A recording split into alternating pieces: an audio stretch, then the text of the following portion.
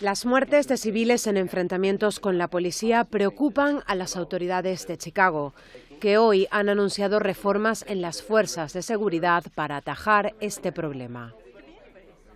El alcalde de Chicago, Ram Emanuel, insistió en que los agentes deben contar con las tácticas, la tecnología y el entrenamiento adecuados para resolver las situaciones con seguridad y sin violencia, para lo que se les formará y equipará.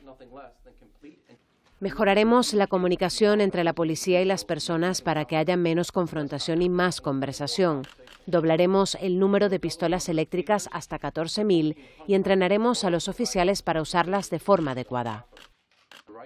Emmanuel tuvo que interrumpir esta semana sus vacaciones navideñas en Cuba por una nueva muerte de un afroamericano desarmado a manos de la policía en medio de reiteradas peticiones de dimisión por la gestión de los casos de violencia policial en Chicago. El superintendente de la policía, John Escalante, insistió en la necesidad de reducir el uso de la fuerza que debe ser la última opción. Nuestros policías deben cambiar la forma en que abordan una situación crítica poniendo tiempo y distancia para dar lugar a la reflexión prudente y dando espacio físico para generar un entorno más seguro.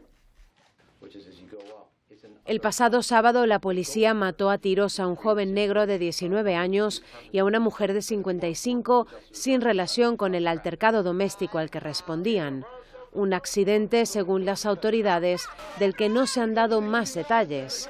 Esto ha causado una nueva oleada de protestas contra la policía y el alcalde de Chicago, incluso frente a su casa, por parte de ciudadanos indignados con los casos de brutalidad y violencia que protagonizan las fuerzas de seguridad que deben protegerles.